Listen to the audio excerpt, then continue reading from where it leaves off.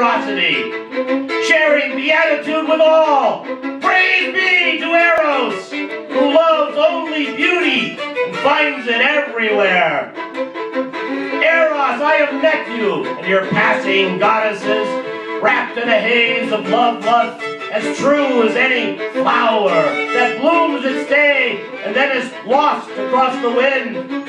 I have seen your eyes lambent with desire you praise sweet Psyche's beauty with your loving tongue. And then have seen them sparkle with that same deep joy as other tender ladies lay between your hands.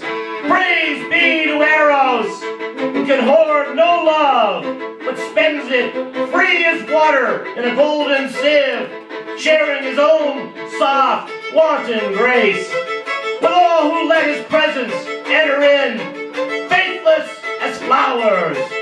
fickle as the wind-born butterfly.